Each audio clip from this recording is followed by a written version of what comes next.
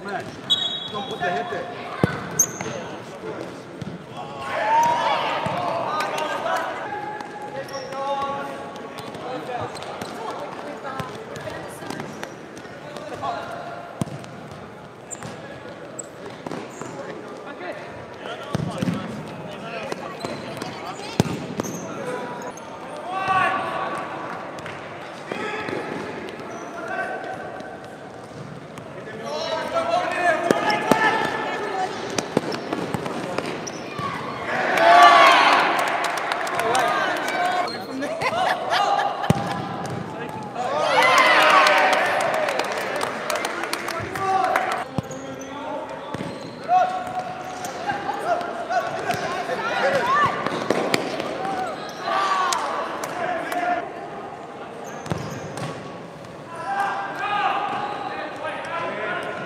Good.